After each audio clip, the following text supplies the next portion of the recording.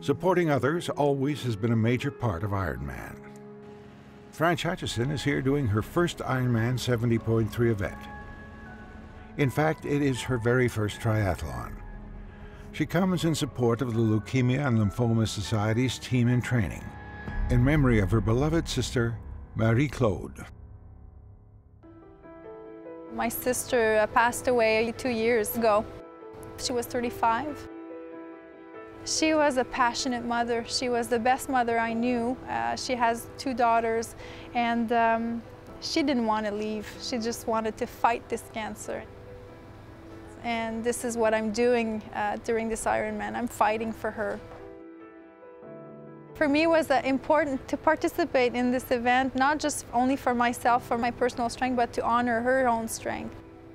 Before dying, she really trained really hard just to walk again. And for me, this Ironman is to honor her fighting, her strength, and her power, and her willing to just walk again. And also make sure that I was um, making the best out of my life. When she left and when she passed away, was really important for me to find a reason uh, to live. Um, Coach Lance is over here. So you guys can on her? France is one of the 57 teammates racing here in Mont Tremblant with the Leukemia and Lymphoma Society's team in training. Their mission, to cure leukemia, lymphoma, Hodgkin's disease, and myeloma, and to provide a better quality of life for patients and their families.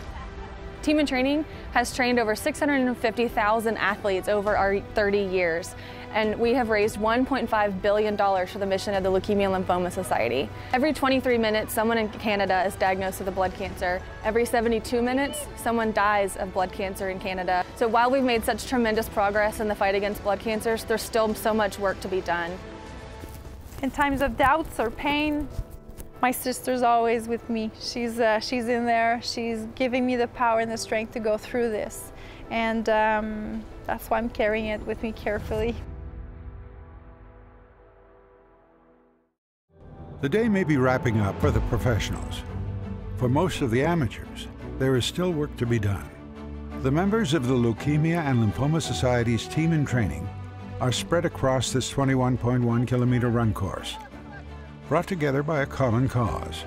As supporters of the LLSC, they are an integral part of changing